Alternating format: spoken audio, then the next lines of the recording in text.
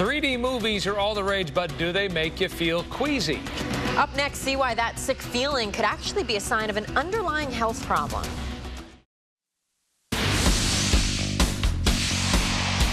All right, so we have some surprising news about 3D movies. They're more than just fun to see. They can actually be a very important wake-up call for some moviegoers. From Avatar to Alice in Wonderland, 3D films are popping up everywhere, delighting millions of viewers. But they're also making many people sick. And that's not necessarily a bad thing. If you're having discomfort when you see a 3D movie, it could indicate that you have a vision problem that can significantly impact other parts of your life. Nine-year-old Natasha Malora couldn't wait to see Avatar in 3D. That is, until she got there. It made me feel dizzy, nauseous, and that's quite common. In fact, over 50% of the population will have difficulty experiencing 3D movies because of vision problems, many undiagnosed. Natasha's mom got her eyes checked out to find out what was really going on. Well, I found out that her eyes don't work well together. She has a lazy eye muscles and her eyes drift apart. And it was affecting a lot more than just watching 3D movies. Sometimes I have tr trouble reading and catching balls. But there's help. Natasha now does a type of physical therapy called vision therapy. Dr. Elise Brisco works on Natasha's eye muscle control and coordination to teach her eyes to work better as a team. Now Natasha says not only are reading and playing sports easier, but she feels more confident. I used to feel like, why can I not learn so fast and everybody's getting so ahead of me? And kind of made me uncomfortable. But now I'm gonna feel like much more comfortable. And doctors say the earlier you catch this, the better because the eye muscles are easier and faster to train when you're young. Uh, for more information on this, you can go to ktla.com. So a lesson that we can all learn from this is go let your kids see all the 3D movies they want. And if they feel sick, immediately get them to an eye doctor. Okay. Thanks for that advice. Sure thing.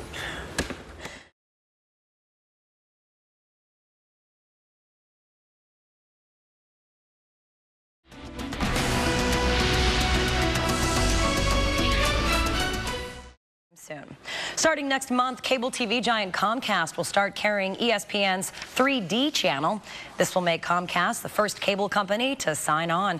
ESPN's rollout is aimed at taking advantage of the FIFA World Cup match that pits South Africa against Mexico. Which leads to the question, do 3D movies make you sick or dizzy? Layla Feinstein explains why it could be a sign of an underlying health problem.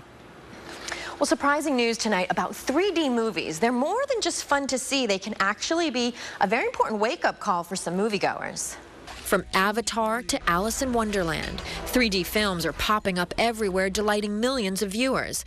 But they're also making many people sick. And that's not necessarily a bad thing. If you're having discomfort when you see a 3D movie, it could indicate that you have a vision problem that can significantly impact other parts of your life. Nine-year-old Natasha Malora couldn't wait to see Avatar in 3D. That is, until she got there. It made me feel dizzy, nauseous, and that's quite common. In fact, over 50% of the population will have difficulty experiencing 3D movies because of vision problems, many undiagnosed. Natasha's mom got her eyes checked out to find out what was really going on. Well, I found out that her eyes don't work well together. She has lazy eye muscles and her eyes drift apart. And it was affecting a lot more than just watching 3D movies. Sometimes I have tr trouble reading and catching balls. But there's help. Natasha now does a type of physical therapy called vision therapy. Dr. Elise Brisco works on Natasha's eye muscle control and coordination to teach her eyes to work better as a team. Now Natasha says not only are reading and playing sports easier, but she feels more confident. I used to feel like, why can I not learn so fast and everybody's getting so ahead of me. And kind of made me uncomfortable, but now I'm gonna feel like much more comfortable. And doctors say the earlier you catch this, the better, because the eye muscles are easier and faster to train when you're young.